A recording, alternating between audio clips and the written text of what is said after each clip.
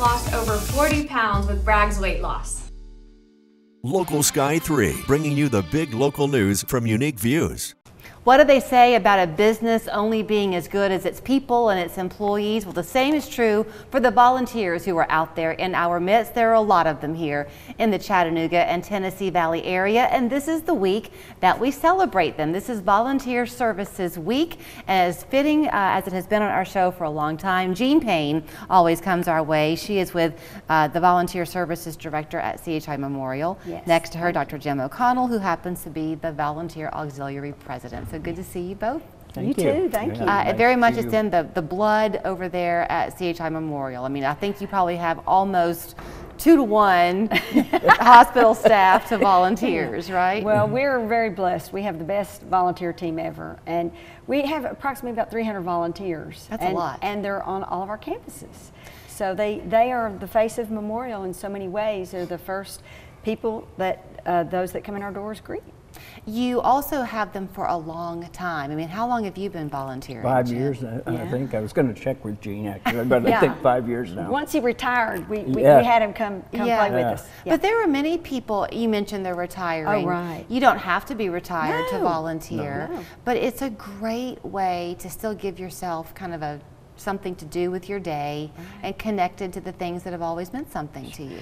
Well, and that's what, and Jim can speak to this, but so many of our volunteers say that, that it means so much to them. It's a ministry. You know, mm-hmm. they, they love serving others, it gives them a purpose.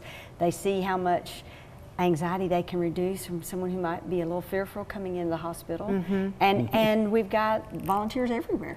And It's kind of funny to me that you would have used the word ministry. I was somewhere uh, in Trenton yesterday Mm-hmm. doing an interview with somebody, and uh, we got talking that you live long enough, you kind of find out what your gifts are in life, yes. and when Yeah. you use them, just your life in and of itself is a ministry. right. Yes, and that's what I found working at uh, Memorial. I, the Wednesday, I work on a Wednesday morning shift at the uh, Gary Hart entrance, the A entrance. Mm-hmm.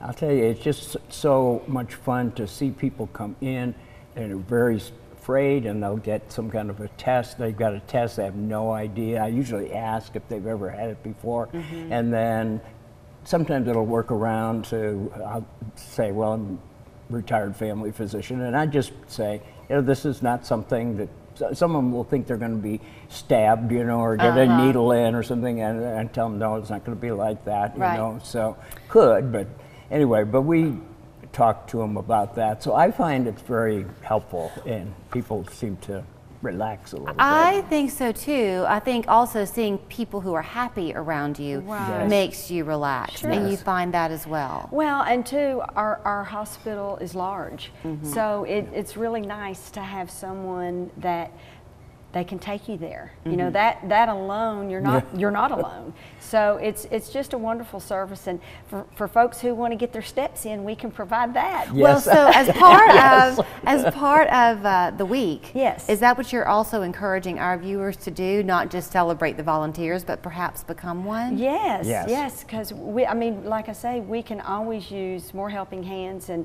and more folks to help carry out the great work that we're doing, and our volunteers do just that. So circling back then to our conversation Mm-hmm. about how you use your own innate gifts and it works for you in your life. Not everyone watching is going to feel that they're outgoing, Right, Perhaps, right. Yeah. but you need other types we, of volunteers. We do. We We, do. have some behind the scenes volunteers. We have volunteers that help it support staff in offices.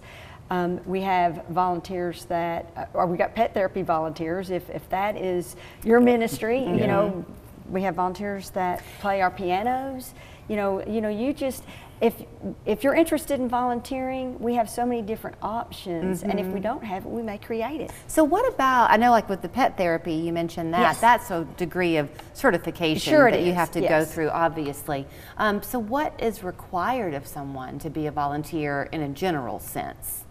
In a general sense, uh, basically four hours a week is what we schedule, and what they would do is call us or uh, visit our website. We have Mm-hmm. a fillable application. Uh, we would set up an interview, and then after that, set an orientation, Mm-hmm. and that's about a five-hour uh, ordeal. And then the next week or when you're ready, we'll we'll begin service. We'll talk about what your interests are, where you feel comfortable, and many times folks don't know what they're interested in yet. Yeah. Yeah. So through that process of getting to know them, then you know we'll we'll place them in an area that we think that works with their schedule and would be maybe our greatest need, and we'll go from there. And if that doesn't work, then we'll find another area. Yeah. So I'm thinking, like you mentioned, the piano player. Yes. Uh, Yeah. You can just simply come and show that you do know how to tinkle those ivories. You're not going to just play chopsticks, I Right, guess. right, right, Uh, and then Something soothing, yes. Yeah. Um, is there an age requirement? 18, It's 16. 16? Yes. We have students uh, come this summer, and we have a summer program so that young students come in and work with us, and they get to get the whole experience about what we do. And, And every uh, day for you that you're yeah, volunteering yes, is different? Yes, pretty much. You It- it is. cannot count on the same activity. I mean, there's obviously some similarity in activity, but there'll be days that things will will pop up that you didn't quite anticipate. Ah. And, and uh, so it's it's very interesting. I find it very rewarding and look forward to going on I'm sure you do. Yeah, and I- if some, I, one thing I would add is if sometimes something doesn't work out for you, like I, they signed me to be a driver Mm-hmm. at Hixson. That wasn't particularly my thing Mm-hmm. because I didn't get enough exposure to people. So I asked to switch down. They to, will let you to do it. that. Here's where you go: memorial.org slash volunteer. Give a big pat on the back to the vo- back to the volunteers in your life.